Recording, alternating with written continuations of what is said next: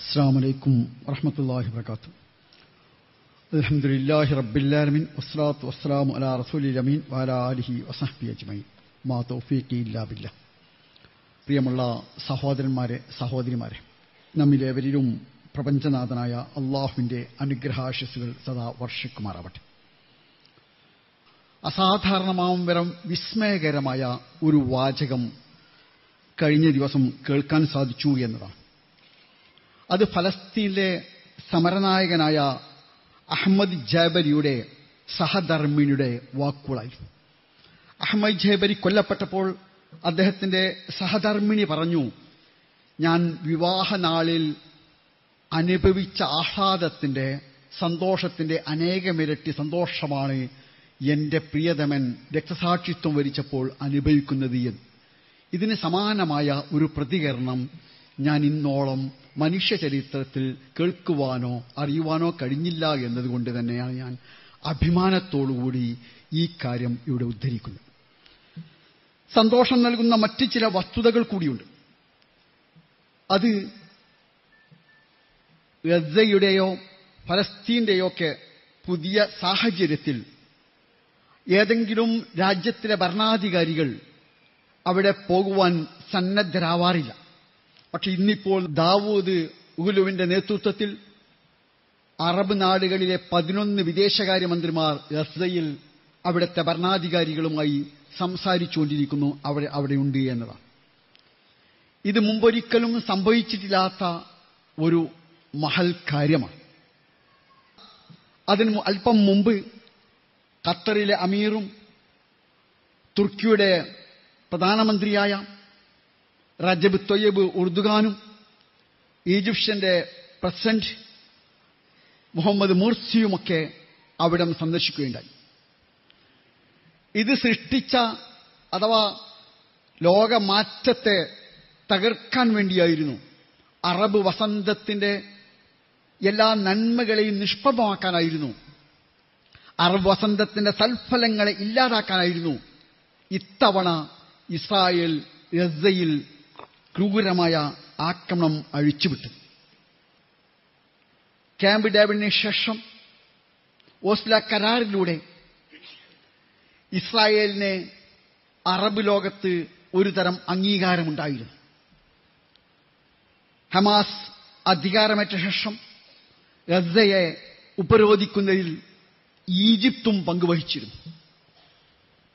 ലോക സംസ്കാരത്തിന്റെയും നാഗരികതയുടെയും സ്ഥിരാകേന്ദ്രമായ ഇസ്ലാമിക ലോകത്ത് നീണ്ട പതിനാല് നൂറ്റാണ്ട് മഹത്തായ ദൗത്യം നിർവഹിച്ച ഈജിപ്ത്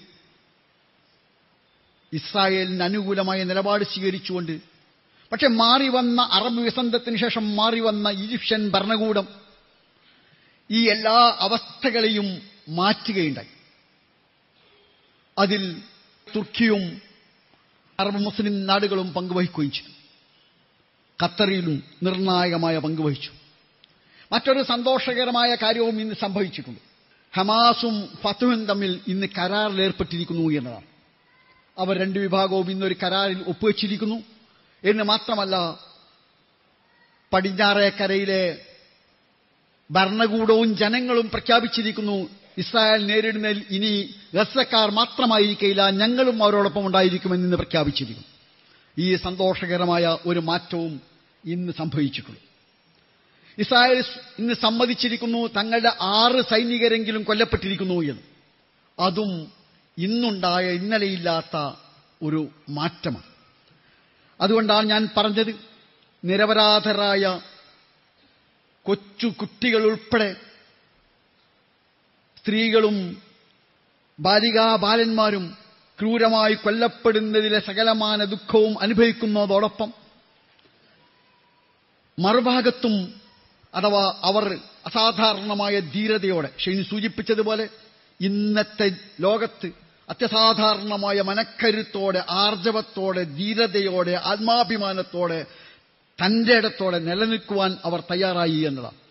ഒരു പഞ്ചായത്തിന്റെ അധികാരം മാത്രമുള്ള കേവലം നാൽപ്പത് കിലോമീറ്റർ നീളവും ഇരുപത് കിലോമീറ്റർ വീതിയും മാത്രമുള്ള പതിനേഴ് ലക്ഷം ജനങ്ങൾ മാത്രമുള്ള ഒരു പ്രദേശത്തെ ഒരു ജനതയ്ക്ക് അവരുടെ അനേക അനേകമിരട്ടി ആയുധശേഷിയുള്ള ലോകത്തിലെ ആയുധശേഷിയിൽ ഏറ്റവും മികവുലർത്തുന്ന വലിയ പട്ടാളമുള്ള ലോകത്തിലെ ഏറ്റവും വലിയ സാമ്രാജ്യശക്തിയായ അമേരിക്കയുടെ പിന്തുണയുള്ള ഇന്നും ആ പിന്തുണ നൽകിയിരിക്കും. ഹിലാരി ക്ലിന്റൺ ഇപ്പോൾ ഇസ്രായേലുണ്ട് ഹിലാരി ക്ലിന്റൺ നെതന്യോയുമായി കൂട്ടായി പത്രപ്രസ്താവന നടത്തുക മാത്രമല്ല ഞാൻ പാറ പോലെ ഇസ്രായേലിന്റെ പിന്നിൽ ഉറച്ചു നിൽക്കുമെന്ന് പറയുക കൂടി ചെയ്തിരിക്കും. അപ്പോൾ ലോകത്തിലെ ഏറ്റവും വലിയ സാമ്രാജ്യശക്തിയെ നേരിട്ടുകൊണ്ട് ലോകത്തിലെ ഏറ്റവും വലിയൊരു സൈനിക രാഷ്ട്രത്തെ അവിടുത്തെ വലിയ പട്ടാളത്തെ വലിയ സാമ്പത്തിക ശേഷിയുള്ള ഒരു രാജ്യത്ത് ഒരു പഞ്ചായത്തോളം പഞ്ചായത്തിന് മാത്രം അധികാരമുള്ള ഒരു ചെറിയ ജനസമൂഹം എങ്ങനെയാണ് നിരായുധരായി? ചിലപ്പോൾ ചില കല്ലുകൾ ഇപ്പോൾ അവിടെ വശം ചില റോക്കറ്റുകൾ. അത് അവർ തന്നെ വികസിപ്പിച്ചെടുത്തതാണ്. അങ്ങനെ നേരിടുന്നു എന്നത് വിസ്മയകരമായ ഒരു കാര്യമാണ്. ആ അത്ഭുതത്തിന് ആ വിസ്മയത്തിന് നമ്മൾ സാക്ഷ്യം വഹിക്കുകയാണ്. ഇവിടെ സ്വാഗത ഭാഷത്തിൽ നിലനിൽക്കാൻ അർഹതയില്ലാത്തൊരു വംശീയ രാഷ്ട്രമാണ്.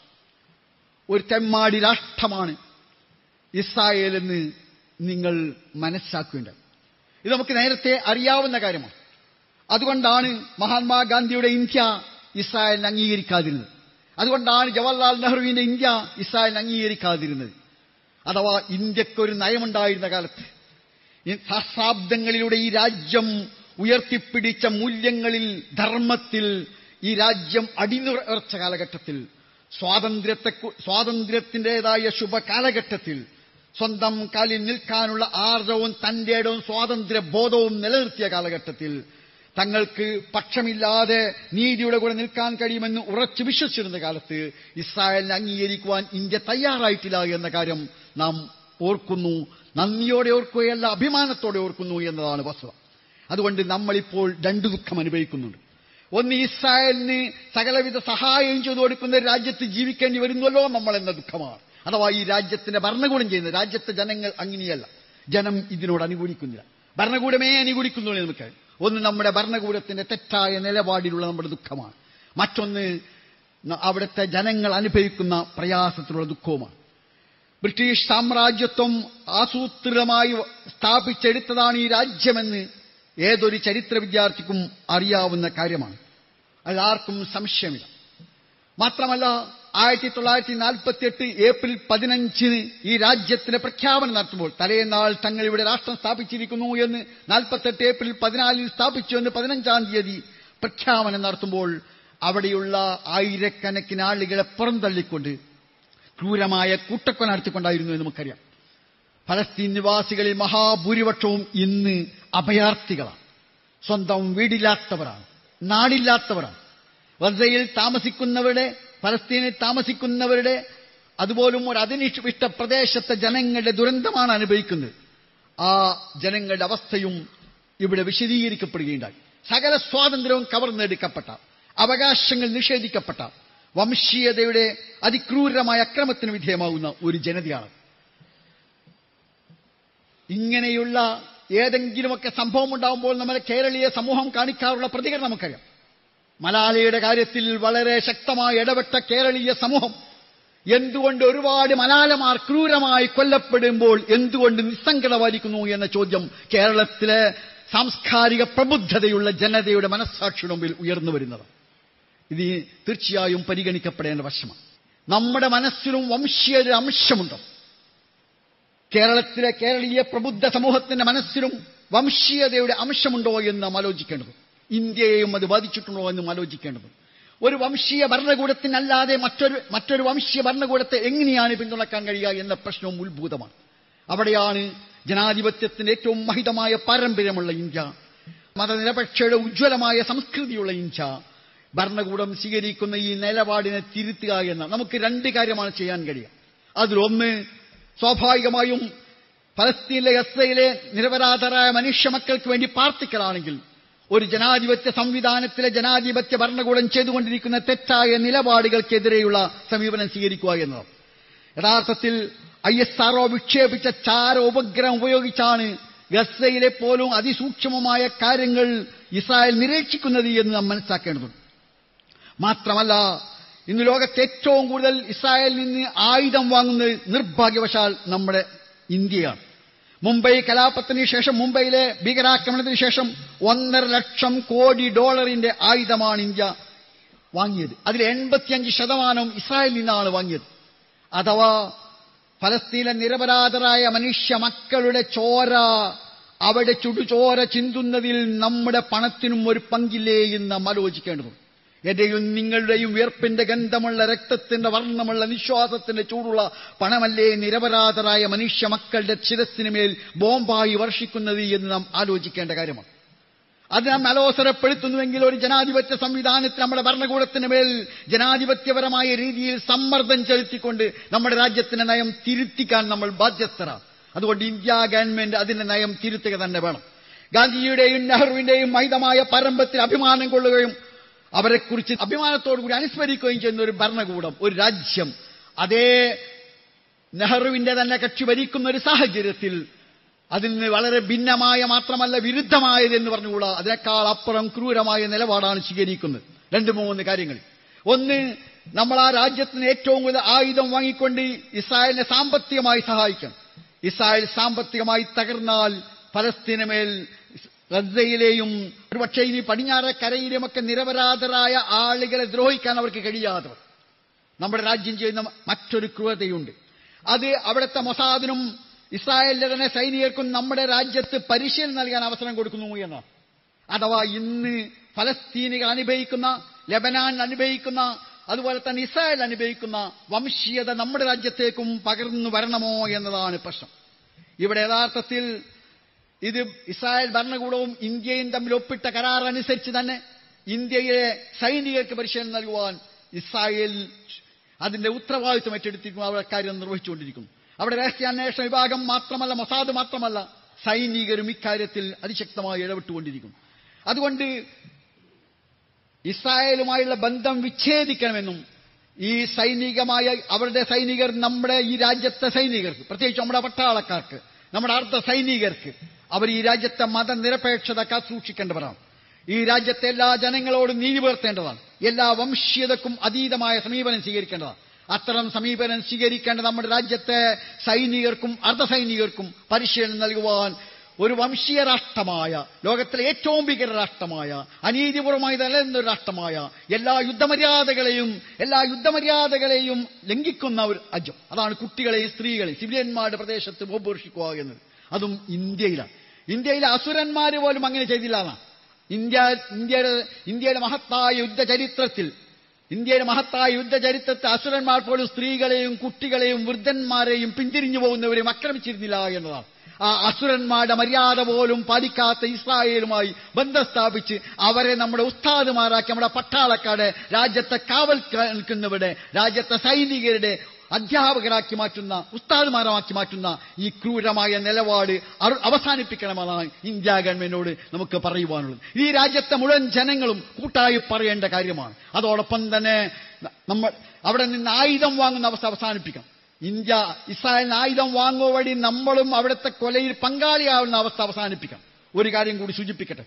ഇവിടെ മുസ്ലിം സമുദായത്തിലെ ആളുകളും അതുപോലെ തന്നെ എന്റെ ക്രൈസ്തവ സഹോദരന്മാരും ഇപ്പോൾ ഇസ്രായേലിലേക്ക് സന്ദർശനം നടത്താറുണ്ട്.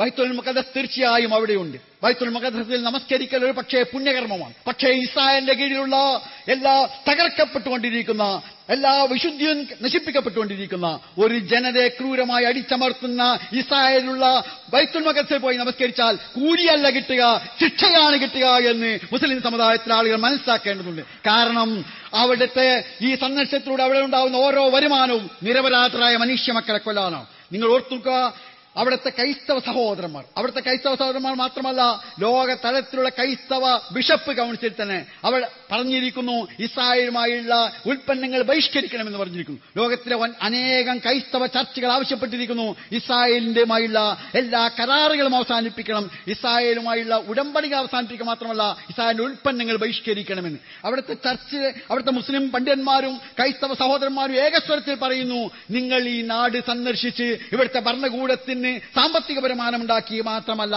മാന്യത കൽപ്പിക്കുക കൂടി ചെയ്യുന്ന അവസ്ഥയാണ്. ഇന്ത്യയെ പോലെയുള്ള രാജ്യത്ത് കേരളത്തെ പോലെയുള്ള പ്രദേശത്ത് നിന്ന് ആയിരക്കണക്കിന് ആളുകൾ ഇസ്രായേലിലേക്ക് സന്ദർശകരായി ചെല്ലുമ്പോൾ ഒരു ഭീകര രാഷ്ട്രത്തിന് ഒരു കിരാത രാജ്യത്തിന് ഒരു വംശീയ രാഷ്ട്രത്തിന് അംഗീകാരം നൽകുന്ന മാന്യത കൽപ്പിക്കുന്ന അവസ്ഥ കൂടിയുണ്ട്. അതുകൊണ്ട് ഒരുപക്ഷെ ഇതുവരെ എന്തൊക്കെ സംഭവിച്ചാലും ശരി ഇപ്പോൾ അവിടുത്തെ മുസ്ലിം സഹോദരന്മാരും ക്രൈസ്തവ സഹോദരന്മാർ ഏകസ്വരത്തിൽ പറയുന്നു ഞങ്ങളുടെ ഈ പ്രദേശത്തേക്ക് നിങ്ങളിപ്പോൾ സന്ദർശിക്കുന്നതിൽ ക്രൈസ്തവ സഹോദരന്മാർ പറഞ്ഞു അതിൽ മതപരമായ ഒരു പുണ്യവുമില്ല. തീർച്ചയായും യേശു ക്രിസ്തുവുമായി ബന്ധപ്പെട്ട് ഈ പ്രദേശത്ത് സന്ദർശിക്കുന്നത് ചരിത്രപരമായും മതപരമായും പുണ്യകരമാണെങ്കിലും ഇവിടത്തെ ആളുകളെ ക്രൂരമായി കൊന്നുകൊണ്ടിരിക്കുന്ന ഭരണകൂടത്തിന്റെ കീഴിൽ ഈ പ്രദേശം ഉണ്ടായിരിക്കുന്നിടത്തോളം കാലം ഇവിടെ സന്ദർശിക്കുന്നത് പുണ്യകരമല്ല എന്ന് പറയുകയുണ്ടായി. നിങ്ങൾക്കറിയാം ലോക പ്രശസ്ത പണ്ഡിതന്മാർ മുസ്ലിം പണ്ഡിതന്മാരും അത് തന്നെ പറഞ്ഞിട്ടുണ്ട്. അതുകൊണ്ട് തന്നെ ഇസ്രായേലിന് സാമ്പത്തിക വരുമാനം ഉണ്ടാക്കുന്ന മാന്യത കൽപ്പിക്കുന്ന അത്തരം രീതികൾ അവസാനിപ്പിക്കണമെന്നുമാണ് പറയാനുള്ളത്. അതോടൊപ്പം പറയുന്നു ഈ ആ ജനതയെ ആ ജനതയെ സംബന്ധിച്ചിടത്തോളം അവരുടെ അസാധാരണമായ നിശ്ചയദാർഢ്യം അവരുടെ ഇച്ഛാശക്തി അവരുടെ വിശ്വാസപരമായ കരുത്ത് അവരുടെ സമർപ്പണ സന്നദ്ധത മനുഷ്യ ചരിത്രത്തിലെ അത്ഭുതകരമായ വിസ്മയകരമായ ഒന്നാണ്. അത് നീതിയുടെ പക്ഷത്ത് ഒരു ജനാധിപത്യ സമൂഹത്തിൽ നീതിയുടെ പക്ഷത്ത് ധർമ്മത്തിന്റെ പക്ഷത്ത് ഉറച്ചു നിൽക്കുവാനും മർദ്ദിതരായ ജനസമൂഹത്തോട് ഐക്യദാർഢ്യം പ്രകടിപ്പിച്ച് അവരുടെ കൂടെ നിൽക്കുവാനും നമുക്ക് പ്രേരണയായി പ്രചോദനമായി മാറേണ്ടതുണ്ട്. നമുക്ക് ചെയ്യാൻ കഴിയുന്ന മൂന്ന് കാര്യങ്ങളിൽ ഒന്ന് പക്ഷേ സാമ്പത്തികമായി സഹായിക്കാം. മൂന്ന് കാര്യങ്ങളിൽ ഒന്ന് ഏറ്റവും വലിയൊരു കാര്യം ആ ജനതയ്ക്ക് വേണ്ടി നമുക്ക് പ്രാർത്ഥിക്കാം. രണ്ടാമതായി നമ്മുടെ ഭരണകൂടത്തിന്റെ തെറ്റായ നയങ്ങൾ തിരുത്തുവാൻ ഭരണകൂടത്തിന് മേൽ ജനാധിപത്യപരമായ രീതിയിൽ സമ്മർദ്ദം ചെലുത്താം. നമ്മുടെ എം പിമാരും നമ്മുടെ രാജ്യത്തെ ഉത്തരവാദപ്പെട്ടവരുമൊക്കെ ഇപ്പോൾ നിർവഹിക്കേണ്ട വലിയ ചുമതലകളിൽ ഒന്നതാണ് എന്ന് നാം മനസ്സിലാക്കുന്നു. അങ്ങനെ ആ ഉത്തരവാദിത്വം നിർവഹിക്കുന്ന ഒരു ജനാധിപത്യ സംവിധാനത്തിലെ ജനാധിപത്യ വിശ്വാസികൾ ഒരു വംശീയ ഭരണകൂടത്തിനെതിരായ ഒരു നിലപാട് സ്വീകരിക്കുന്നതിൽ മുന്നോട്ട് വരുമെന്ന് നാം പ്രതീക്ഷിക്കുന്നു. വരണമെന്ന് നാം ആവശ്യപ്പെടുന്നു. അതോടൊപ്പം അവിടുത്തെ നിരോജ്വലമായ സമൂഹത്തിന്. അത്യസാധാരണമാണ്. വിശുദ്ധ വേദഗ്രന്ഥത്തിൽ ഒരാൾക്ക് പകരം പത്താളെന്ന് പറഞ്ഞിട്ടുണ്ട്. നിങ്ങൾ ഇരുപത് പേരുണ്ടെങ്കിൽ ഇരുന്നൂറ് പേരെന്ന് പറഞ്ഞിട്ടുണ്ട്. പക്ഷേ വിശുദ്ധ ഖുർആന്റെ ആ പ്രഖ്യാപനത്തെക്കാൾ ഒരുപാട് മുന്നോട്ട് പോയി. ഒരാൾക്ക് പകരം ആയിരത്തി നാനൂറ് എന്ന മഹാവിസ്മയം സൃഷ്ടിച്ചവരാണ് ഹമാസുകാർ എന്ന് നിങ്ങൾക്കറിയാം. ഒരു ഒരു ഇസ്രായേലിനെ മോചിപ്പിക്കുവാൻ വേണ്ടി ആയിരത്തി നാനൂറോളം സ്വന്തം അനുയായികളെ മോചിപ്പിച്ചെടുക്കാൻ കഴിഞ്ഞ ഒരു രാജ്യമാണ് ഒരു ഭരണകൂടമാണ് ഹനിയായുടെ ഹമാസ് ഭരണകൂടം എന്നതും അഭിമാനകരമായ ഒരു കാര്യമാണ്. ഞാൻ സൂചിപ്പിക്കുന്നു ജീവിക്കുവാൻ ഒരു ജനത എല്ലാം നഷ്ടപ്പെട്ട ഒരു ജനതയ്ക്ക് പേടിക്കാനൊന്നുമില്ലല്ലോ അതാണ് അവർ. ഇസ്രായേലിലെ രണ്ട് ലക്ഷം ആളുകൾ രണ്ട് ലക്ഷം ആളുകൾ ബങ്കറിന്റെ താഴെ പോയി ഒളിച്ചിരിക്കുമ്പോൾ പലസ്തീനിലെ സ്ത്രീകളും കുട്ടികളും സ്കൂളിൽ പോകുന്നു വീടുകളിൽ പുറത്തിറങ്ങുന്നു. കാരണം ആ ജനതയ്ക്ക് നഷ്ടപ്പെടാൻ ഒന്നുമില്ല. എല്ലാം കവർന്നെടുക്കപ്പെട്ടിരിക്കുന്നു. കവർന്നെടുക്കപ്പെട്ട ജനതയ്ക്ക് ബാക്കി അവശേഷിക്കുന്ന അവിടെ ആത്മാഭിമാനമാണ് അവിടെ വിശ്വാസമാണ് അവിടെ ജീവിക്കാൻ വേണ്ടിയുള്ള പോരാട്ടമാണ്. ആ പൊരുതുന്ന ജനതയ്ക്ക് പ്രപഞ്ചനാഥനായ അള്ളാഹു സകലവിധ വിജയവും നൽകുമാറാവട്ടെ. അവരുടെ നിരപരാധരായ നിസ്സഹായരായ മനുഷ്യ മക്കളെ സ്ത്രീകളെയും കുട്ടികളെയും കൂട്ടക്കൊല ചെയ്യുന്ന ഒരു ഭീകര ഭരണകൂടത്തിന് ആ ജനതയ്ക്കെല്ലാം മോചനവും ആശ്വാസവും പ്രചാരണം പ്രദാനം ചെയ്യുമാറാവട്ടെ എന്ന് പ്രാർത്ഥിച്ചുകൊണ്ട് സർവശക്തനായ അള്ളാഹുവിന്റെ നാമത്തിൽ ദയാമയനായ ദൈവത്തിന്റെ നാമത്തിൽ ഈ സമ്മേളനം ഉദ്ഘാടനം ചെയ്തുകൊള്ളുന്നു. വാഹൃദാൻ റബ്ബില്ലാലമീൻ അസ്സാം വലൈക്കും വറഹമത്തല്ലാഹി വബർക്കാത്തു